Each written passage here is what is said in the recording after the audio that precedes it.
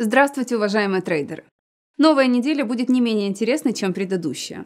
Начиная со вторника запланирована важная публикация макростатистики, которая сможет повлиять на ход торгов валютными парами. Центром внимания вторника станет Европейская сессия, где состоится публикация делового климата Германии от Института ИФО за август.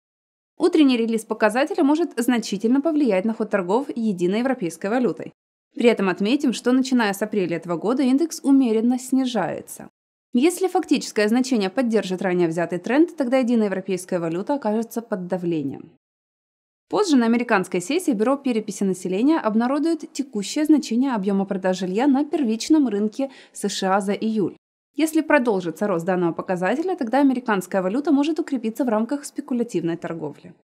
На американской сессии среды интерес у трейдеров вызовет публикация индекса объема заказов на товары долгосрочного пользования США. Традиционно данная публикация способствует росту волатильности долларом США в первый час торгов. В случае публикации положительного фактического значения и вследствие чего продолжения динамик роста показателя создадутся предпосылки для укрепления доллара США в первый час торгов. Не исключено, что особое внимание трейдеров предстоящей торговой неделе сосредоточится на американской сессии четверга. Бюро экономического анализа обнародует окончательное значение ВВП США за второй квартал этого года. Следует отметить, что ожидается рост данного показателя, поскольку предварительное значение, которое было опубликовано в конце июня, вселило оптимизм инвесторам и участникам рынка. Поэтому публикация текущего значения выше предыдущего может укрепить американскую валюту. Что касается такой валютной пары, как евро-доллар, то в случае закрепления ниже района 1.1020 ожидается дальнейшее снижение с целью до отметки 1.9200. Конец торговой недели будет насыщен публикациями макростатистики из Японии, Германии и США. К важным событиям азиатской сессии пятницы можно отнести релиз индекса потребительских цен и уровня безработицы Японии за июль. На фоне замедления темпов экономического роста страны восходящего солнца не исключается рост уровня безработицы. Поэтому публикация фактического значения выше предыдущего спровоцирует снижение иены против других основных валют. Напомним, что иена в паре с долларом США держится выше поддержки в районе 124.20. На европейской сессии особый интерес участников рынка может сосредоточиться на следующем.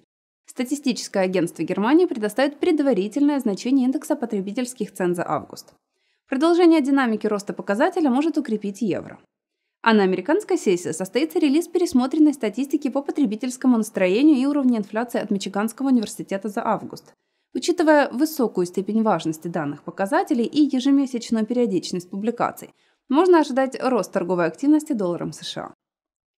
Подводя итог торговой недели, следует ожидать увеличенный интерес на такие валюты, как евро, иена и, конечно же, сам американский доллар.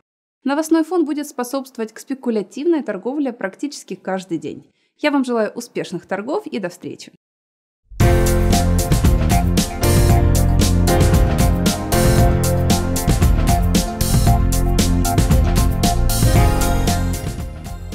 Погрузитесь в мир финансовых новостей. Подписывайтесь на канал в YouTube Forex FIBA Group TV и получите актуальную информацию о Форекс от компании FIBA Group.